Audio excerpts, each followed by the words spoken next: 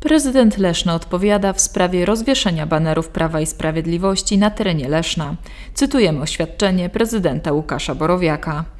W dniu 20 sierpnia 2018 roku wydałem zarządzenie nr 416 łamane przez 2018 w sprawie zapewnienia na terenie miasta Leszna miejsc na bezpłatne umieszczanie urzędowych obwieszczeń wyborczych i plakatów wszystkich komitetów wyborczych na czas kampanii wyborczej do rad gmin, rad powiatów, sejmików województw i rad dzielnic miasta stołecznego Warszawy oraz wyborów wójtów, burmistrzów i prezydentów miast. W związku z umiejscowieniem banerów wyborczych Klubu Miejskiego Prawo i Sprawiedliwość w Lesznie na płotach wzdłuż pasów rozdziału głównych arterii komunikacyjnych miasta, co zostało stwierdzone w dniu 18 sierpnia 2018 roku przez służby miejskie, zwróciłem się do przewodniczącego tego klubu, pana Sławomira Szczota, o zajęcie stanowiska w tym względzie i złożenie stosownych wyjaśnień oraz przekazanie pisemnej informacji w terminie 14 dni od dnia dzisiejszego.